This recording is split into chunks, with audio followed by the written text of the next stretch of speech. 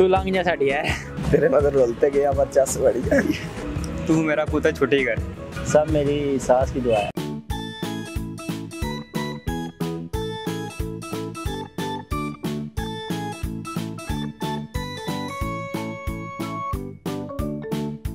अस्सलाम वालेकुम नादरीन, आप देख रहे हैं C T V news Pakistan और मैं हूँ आपका मेज़बान सैयद इंजमाउल हसन।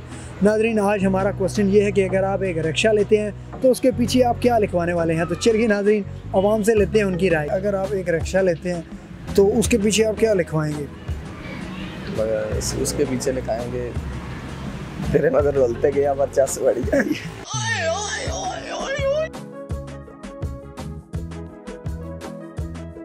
अगर आप एक रिक्शा लेते हैं तो उसके पीछे आप क्या लिखवाएँगे? तू मेरा पुत्र छुट्टी कर मस्ती कर रहे हैं।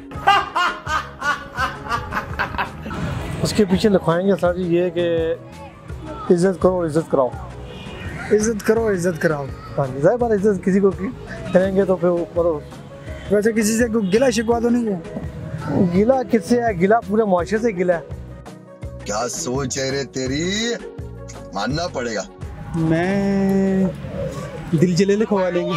दिल जले? हाँ यही लिखा होता है। उसकी क्या वजह है?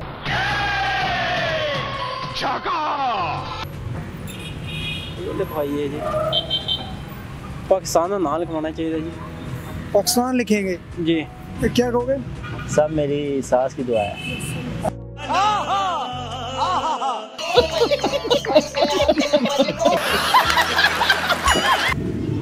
क्या लिखवाएँगे क्या बताओ क्या लिखवाएँगे तो आपने अक्सर देखा होगा पीछे फनी इबारतें लिखी होती हैं। तो आप क्या ऐसा लिखवाएँगे पीछे अपने रिक्शे के?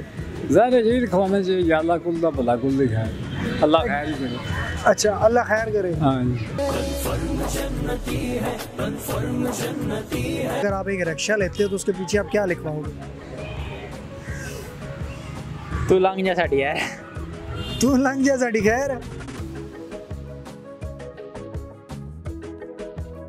वाह क्या सीन है? वाह क्या सीन है? तो जी नादरीन ये थी आज की वीडियो मैं उम्मीद करता हूँ कि आज की वीडियो आपको पसंद आई होगी। अगली वीडियो में मिलते हैं। तब तक के लिए अपने मेज़बान इंजमाम हसन को दीजिए इजाज़त। मिलते हैं नेक्स्ट वीडियो में। अल्लाह हाफिज़।